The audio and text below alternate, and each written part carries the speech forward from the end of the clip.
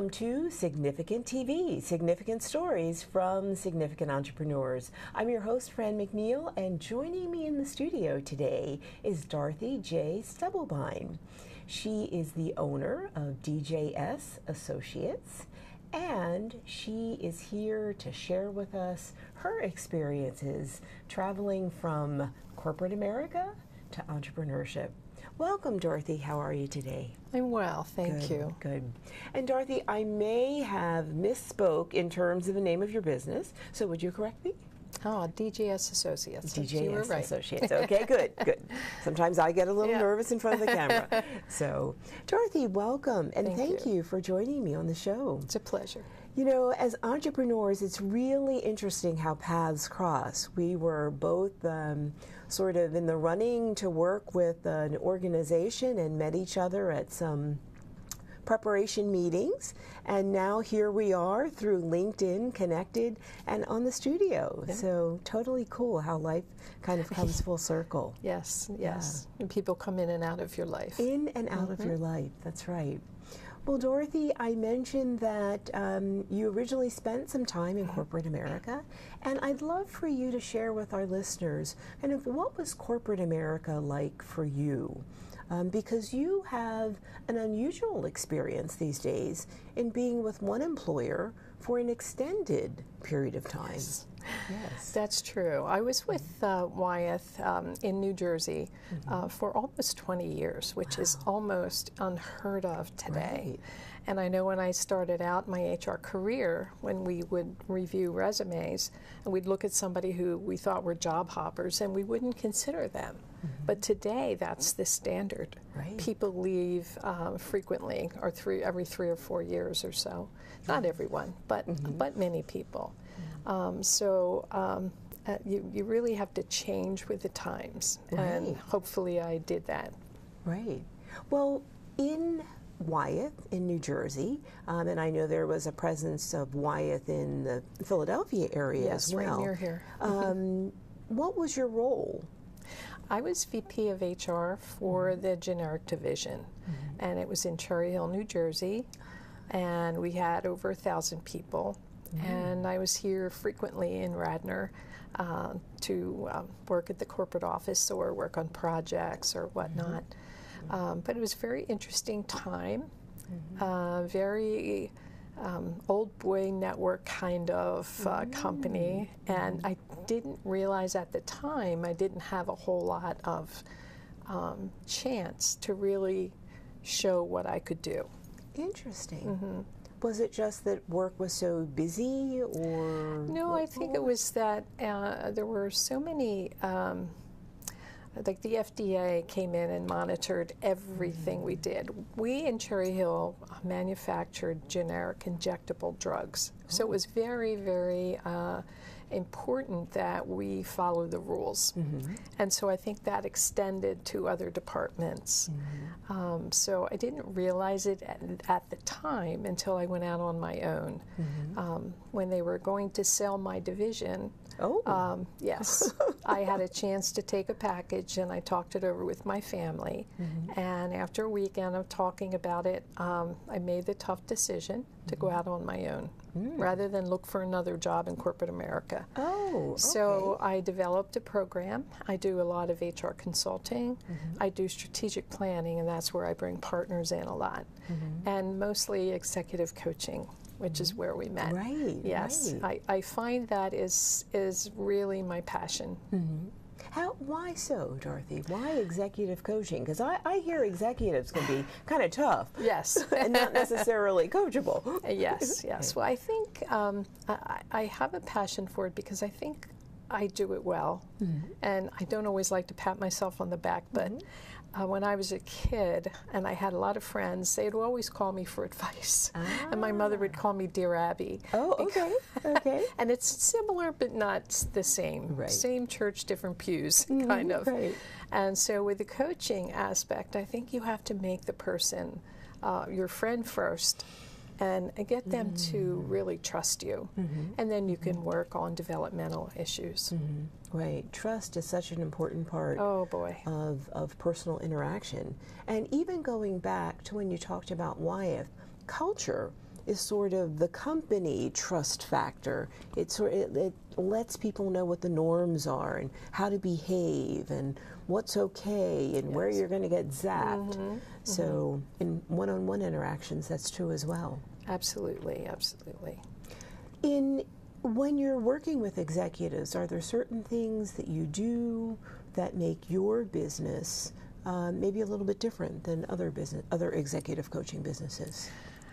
Hmm, that's a good question. I, am not sure that I'm different. I mm-hmm. think um, because I've had 30 years of business experience, mm-hmm. and because I was trained by a couple of the different agencies that do this, mm-hmm. um, I think I have a great background mm-hmm. to coach people. Mm-hmm. And because I can be trusted, I've done a lot of work on trust and some um, presentations around the area. The Wharton Alumni Club, a partner and I mm. did a, a, mm-hmm. presentation on The Speed of Trust by Stephen M. R. Oh, Covey. Oh, yes. And that's a wonderful book. That's a great book. Yes, it's a good read, and mm-hmm. a lot of business books I just keep from my library, but this one was readable mm-hmm. and really relatable to people. Mm-hmm. Mm-hmm. So I think that that's just, uh, that can't be overemphasized, mm-hmm. that trust factor. The Speed of Trust. In fact, yes. that may not be a book that some of our viewers have read. Can you give us sort of a 30 second highlight of why they might want to read that book and maybe one takeaway from The Speed of Trust? Well, I think that we all have blind spots. Mm-hmm. And I think um, that in this book, Stephen M. R. Covey, who is the son of the original Stephen Covey, mm-hmm. um, Seven Habits. I, yes. Seven Habits, Stephen Covey. yes, oh boy, yes. And uh, I, I think people don't really realize what goes into um, being trusted. I go mm-hmm. into a lot of companies and I see the president who is in his own space or her own space, mm-hmm. and they don't relate well uh, for a number of reasons. And I mm-hmm. think the trust factor is a big component of that. Mm-hmm. And what I have seen, I worked for a company in New Jersey that tries to keep companies in New Jersey, mm-hmm. and so they find state grants for them. And oh. they do oh. lean training and they do management training. Okay. And I went around to at least 15 companies mm-hmm. and smaller companies, mm-hmm. and I learned a lot about human nature because the presidents of those companies just did what they wanted to do. Mm. And a lot of times they didn't see how they linked with the management ah. staff, with the people, and a big component was trust. Mm-hmm. And when I went into each company, I would do that presentation first before oh, I gave them any management oh, topics. Okay, okay, And I found it very interesting because people wanted to talk. Mm. And they wanted to talk about why it was so important to trust mm. and to look at and, and and your question about the book as people watch your feet, not what you say, but how you walk the talk. Right. And right. I think that that's the that's a key component of trust. Actions speak louder than words. Mm-hmm. Yes. Yes, wow. indeed. Well, that, you know, you've identified your competitive advantage. The 30 years of corporate mm-hmm. experience. Mm-hmm. It's the 16 years, you know, the 20 years corporate experience, the 16 years of running your own business, um, the focus on trust, um, and the ability for you to partner with other organizations to really highlight that trust and bring it into your executive coaching. You're clearly passionate yes. um, about this. What do you see in terms of the, I'll call it the intersection of trust and leadership? And, and how, how do some of the younger entrepreneurs, I, I just interviewed a young entrepreneur, how do they begin to become aware of this and navigate trust in leadership effectively? That's a great question. And I think that what happens is that those of us who've been around a while mm-hmm. need to realize that we need to mentor younger people mm-hmm. and bring them up um, through their their trials and tribulations. Mm-hmm. And there are many organizations. I'm a member of GPSAG, which is oh, the Greater yes. Philadelphia Senior yes. Executives Group. I was served mm-hmm. on their board and whatnot. And almost every group that I am in has a mentoring program. Mm-hmm. And I think that is mm. so key because we mm-hmm. didn't get to where we are by ourselves.